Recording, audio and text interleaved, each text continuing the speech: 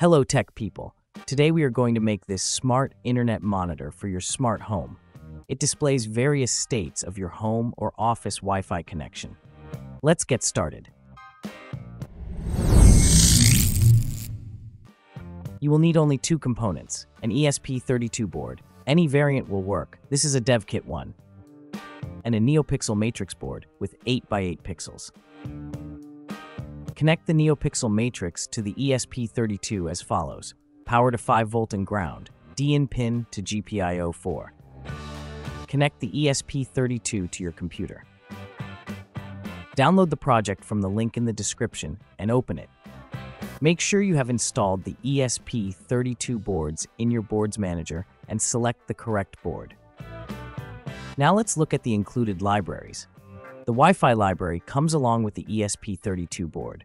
No need to install that, but you need to install the following libraries. ESP ping to ping the internet server to check connectivity. Adafruit NeoPixel and GFX libraries to use the NeoPixel matrix display. Install these from the Library Manager. Next, add your Wi-Fi name and password here. After that, you can change the pin for the NeoPixel matrix here. You can change the maximum brightness of the matrix here. Be careful with the brightness. You should not run it at full brightness unless it is connected to an external power source. Here we have connected to the ESP32 directly, so we maintain a relatively low brightness. Next, over here, you can change the interval of the ping. I have set it to ping the server every 2 seconds.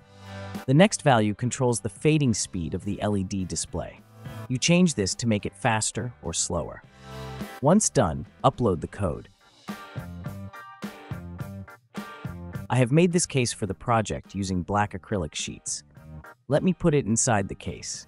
I am providing an external 5 volt supply and connecting it to the 5 volt pins of the ESP32 and the NeoPixel matrix.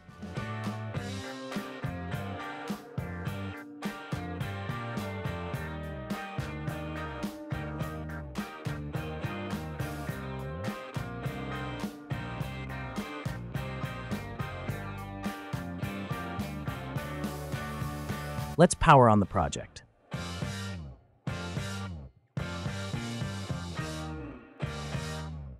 When you see this, the ESP32 is trying to connect to the Wi-Fi network.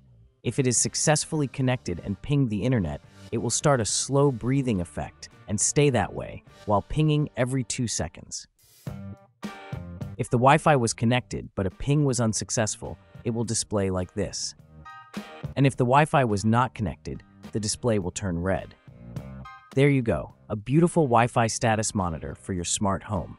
Comment if you have any questions, and as usual, a like and subscribe would be amazing.